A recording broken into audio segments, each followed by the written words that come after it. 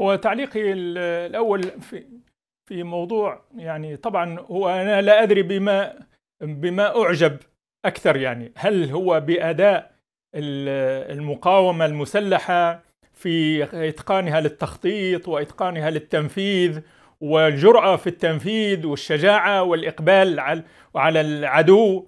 وهذا كله يعني أبهر العالم. جميع المعلقين أنا أتابع يعني تابعت بالذات بعض المعلقين العسكريين يقولوا هذا راو لا يوجد في الجيوش الإقبال هذا والإقدام على الموت وعلى العدو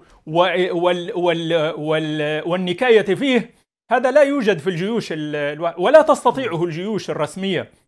هذه عناصر بالإضافة إلى إحكام التدريب هناك تربية نفسية وتربية عقائدية تجعلهم يقدمون هذا الإقدام. لكن الذي يبهرني أكثر هو صمود الشعب. هو يعني لم تخرج لم تخرج مظاهرة واحدة ضد ضد حماس ويقولوا لهم أنتم ورطونا في هذه المشكلة وخربتوا بيوتنا وقتلتوا أطفالنا وتسببتوا لنا الناس اللي من برا من بعض المخذلين الذين يتأوهون. يقولوا إحنا عندنا مثل يقول الجمل رافع والقرادينين. القرادي هو اللي يئن والجمل هو اللي رافع الحمل. هم شعب غزة متحملين وراضيين ويخر يطلع في صغارة من تحت الأنقاض ويقول فداء فلسطين وفداء الأقصى وفداء حماس راضيين والحمد لله. وهذا ما أبهر العالم. حتى المسيحي وبدأوا يدرسون القرآن ويدرسوا ليعرفوا سر هذه العقيدة وسر هذا الرضا بالقضاء والقدر وسر هذا الصمود. وهم يعيطوا ويقولوا قتلتوا الأطفال وتسببتوا في قتل الأطفال. هذا موضوع المقاومة لا تستطيع أن تصد تصد العدو عن عن قتل المدنيين. وهذه رأيناها في جهاد عمر المختار. في جهاد عمر المختار. عندما عجز طليان عن عن يعني عن هزيمته طيلة عشر سنوات من من الجهاد والفاشيست بالذات بعد حصول وصول الفاشيست إلى إلى الحكم في روما.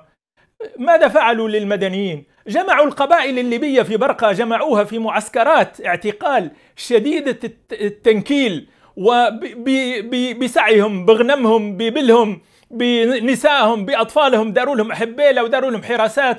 والصوت واظني تسمعوا بال بالقصيدة ما بمرض غير دار العقيلة وحبس القبيلة. يعني سجلت مأساة. هذا كله يعني بسبب لو كان هؤلاء المخذلون حاضرون.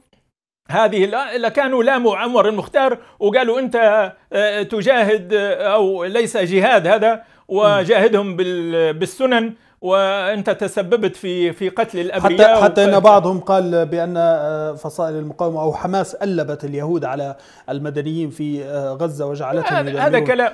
كل هذه هذا اولا يدل على ضعف وخور في ال ال النفسية النفسية هذول لا يتكلمون إلا أو ربما بعضهم مدعوم بمخابرات دول معينة يعني يهمها كسر إرادة حماس وكسر إرادة المقاومة ويريدون. هو السيسي نفسه قال القضاء على حماس هدف نبيل.